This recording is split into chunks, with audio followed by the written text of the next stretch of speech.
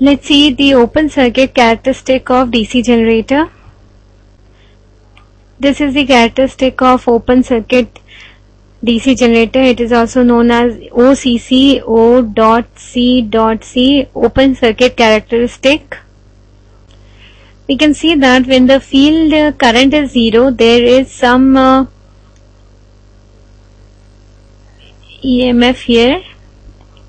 This is due to residual magnetism in the poles.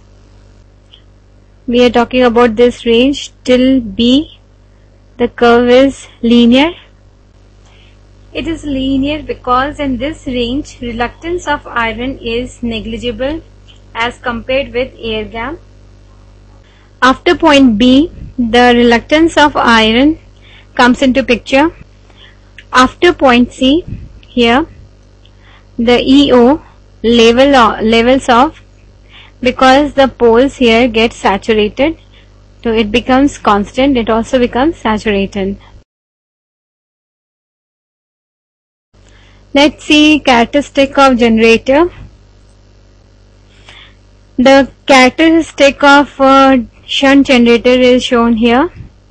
Uh, this is the characteristic of separately excited uh, generator. This is for compound generator and this is for series generator.